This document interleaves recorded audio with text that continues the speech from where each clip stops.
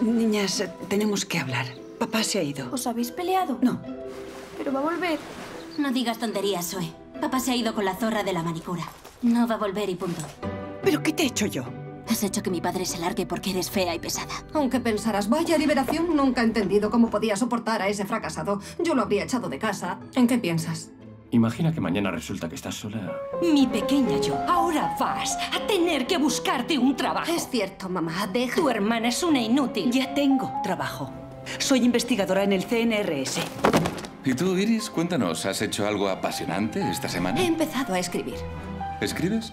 ¿Se puede saber de qué va?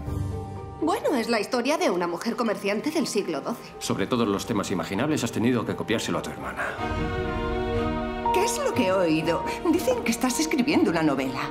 De la mujer comerciante de la Edad Media. Es lamentable. Siempre has dicho que la Edad Media no estaba de moda. Quiero escribir.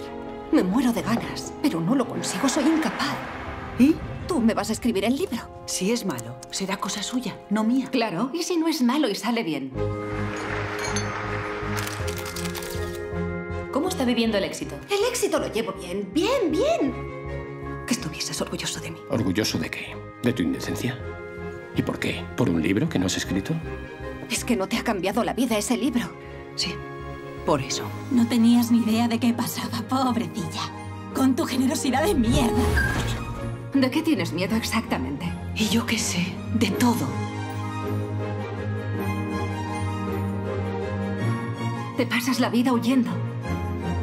¿No quieres vivir tu propia vida?